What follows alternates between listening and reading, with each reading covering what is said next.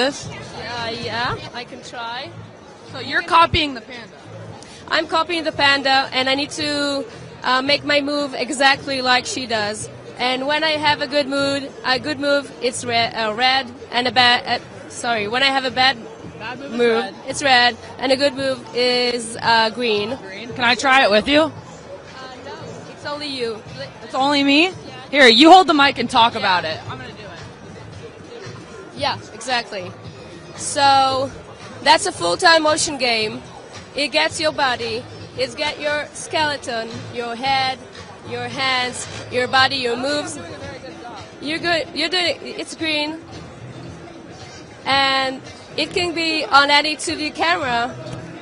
Just yeah. Uh, well, I've done it a few times before.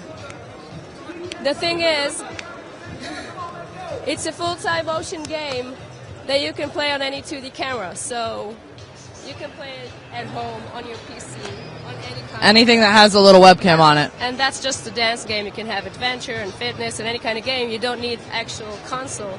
You can just use your PC, your laptop, tablet. What's it called? Download. It's Extreme Motion. Extreme Motion. How much?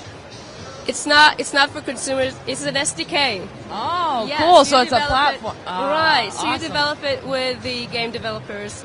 It, you can take a current game, a current any kind of platform game, put in the engine, and then it turns into a motion game for PC. So Awesome. you can use it. Yeah. Well, cool. Thanks for showing us. Thank you. Appreciate it.